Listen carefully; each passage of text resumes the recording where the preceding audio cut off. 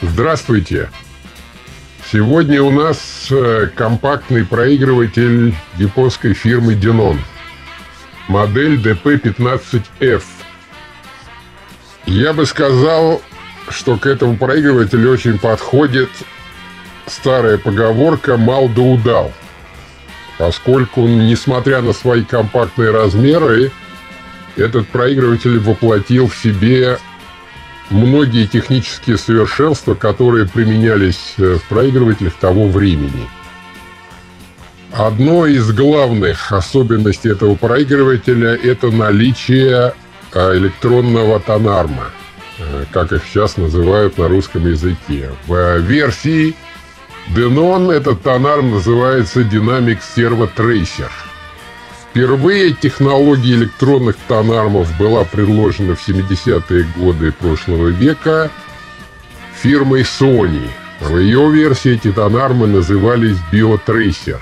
Суть их состоит в том, что вертикальное и горизонтальное микроперемещение тонарма демпфируется с электронным способом.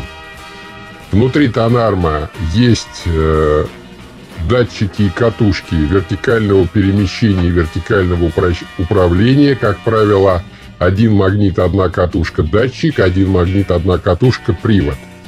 И, соответственно, в основании есть то же самое, э, датчики положения и датчики управления, и катушка управления э, горизонтальным демпфированием тонарма, а также э, двигатель, горизонтальный двигатель выполняет функцию перемещения э, вправо-влево, а вертикальный двигатель обеспечивает опускание подъем тонарма на пластинку.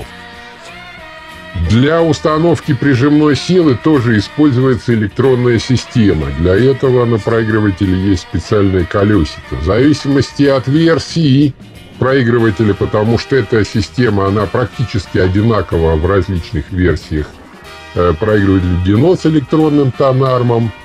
Иногда появляется дополнительная регулировка степени демпфирования тонарма. Но об этом мы поговорим когда-нибудь потом, когда будем рассматривать э, модель с такой регулировкой. В этой модели есть только регулировка прижимной силы.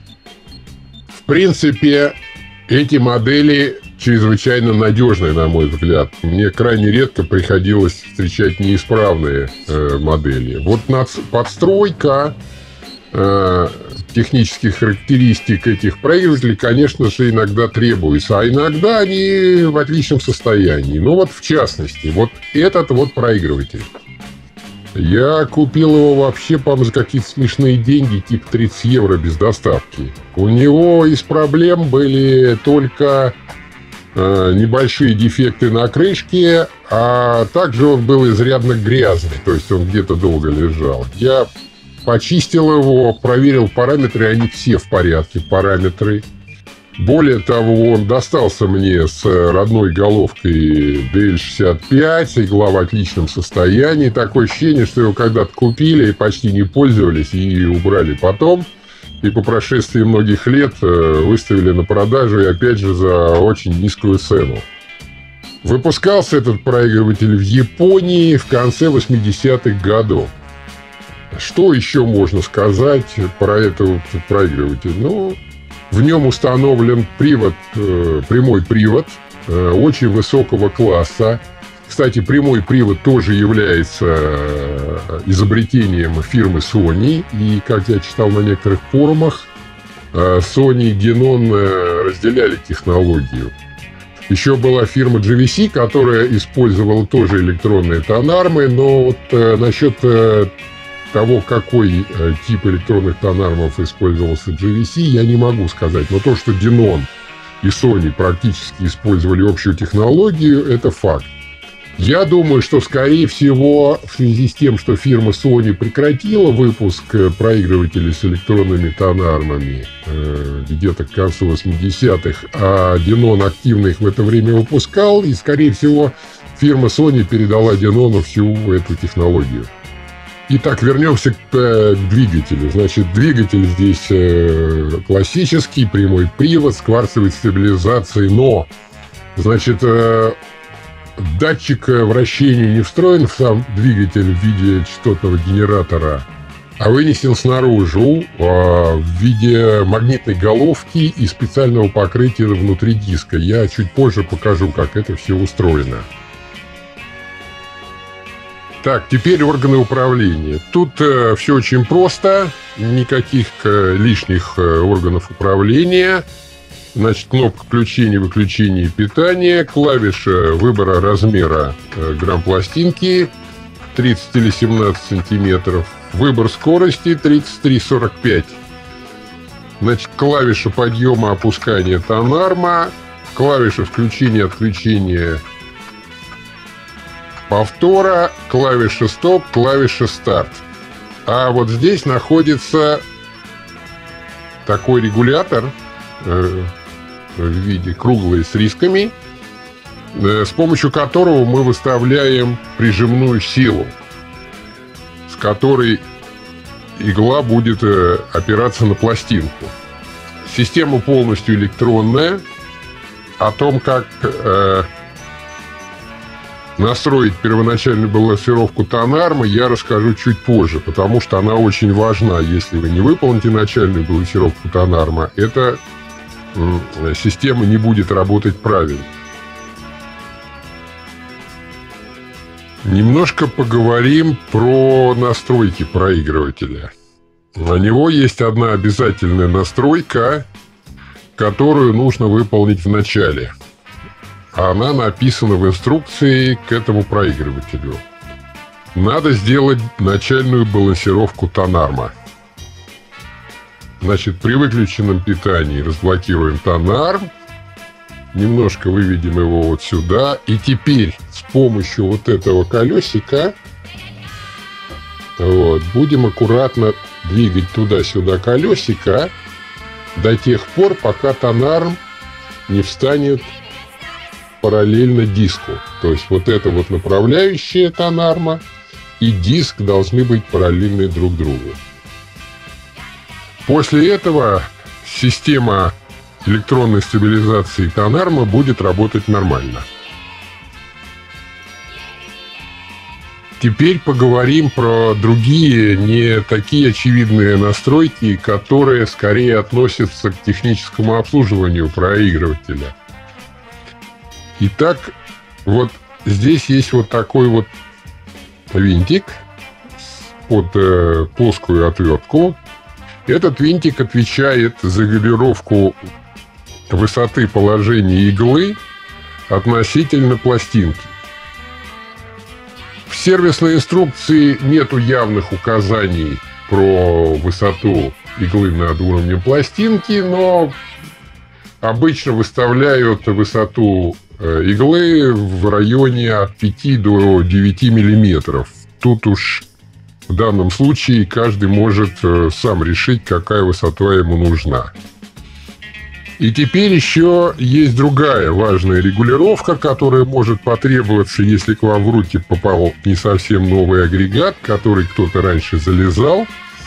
Это установка э, начальной позиции воспроизведения – грамм пластинки размером 30 сантиметров. Сразу оговорюсь, что автоматическая установка грамм пластинки размером 17 сантиметров жестко связана с, размер, с позицией установки грамм пластинки 30 сантиметров. И для того, чтобы отрегулировать вот эту относительную позицию пластинки 17 сантиметров, надо будет уже залезать внутрь проигрывателя. А чтобы установить позицию проигрывания грамм-пластинки 30 сантиметров, никуда внутрь не надо залезать, все можно сделать прямо отсюда. Итак, мы разблокируем тонарм, вот, выведем его примерно на позицию начала.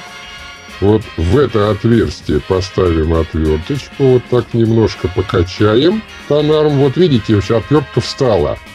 Теперь, если я, видите, двигаю отверткой, я попал там в винт, Значит, можно регулировать начальную позицию установки на пластинке 30 сантиметров.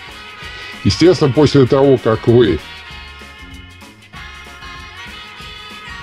отрегулировали позицию этим винтом, для того, чтобы проверить, надо вынуть, поставить на место и после этого проверять. Естественно, эту регулировку надо проводить только при выключенном питании чтобы не работала система динамической стабилизации Тонарма.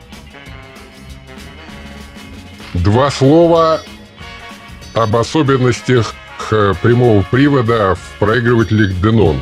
Ну, на самом деле, эта технология была предложена ранее фирмой Sony.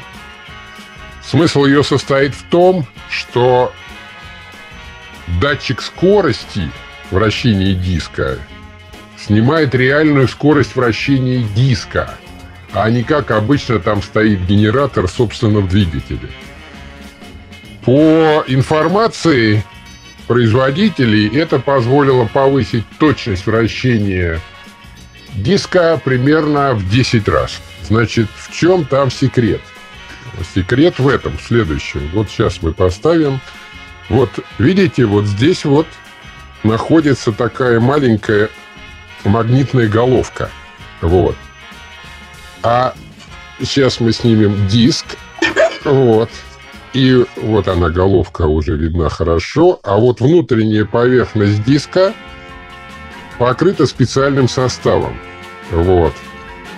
Так называемый магнитный диск, как они его называют. И этот э, состав, собственно, дает импульсы, которые считывает головка и позволяет определить скорость вращения двигателя, э, извиняюсь, скорость вращения диска, и если что-то не так, она дает команду на э, коррекцию этой скорости вращения. Естественно, если вы повредите это покрытие, то точность э, данных ухудшится. Хотя я думаю, что небольшое повреждение не окажет серьезного влияния на точность сканирования. Поэтому при снятии диска надо быть аккуратным – чтобы не повредить внутреннюю магнитную поверхность диска.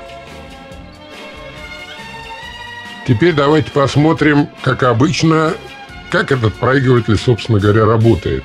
Значит, мы включим питание, э, выберем размер пластинки 30, скорость 33. Остальные клавиши мы пока трогать не будем. Значит, есть, как всегда, два способа пустить э, проигрыватель в работу. Ну, как всегда, ручной. И он самый простой. Значит, нажмем кнопку «Поднять тонарм», подведем э, к нужному месту на пластинке. Видите, диск начал крутиться, и вот здесь зажигается такая индикатор э, кварцевой стабилизации. И после этого опускаем тонар вниз, начинается воспроизведение. Ну, дальше можно поднимать его, переставлять куда хотите. Вот. И дальше можно в конце либо нажать кнопку «Стоп», либо просто вернуть тонар на место. На этом история закончится. Теперь автоматический режим. Значит, э, у нас выбран размер 30, скорость 33. Опустим микролифт и нажмем кнопочку «Старт». Сейчас вот он пойдет, станет на начало пластинки, а опустится и начнется проигрывание. А, в любой момент мы можем остановить проигрывание кнопкой «Стоп».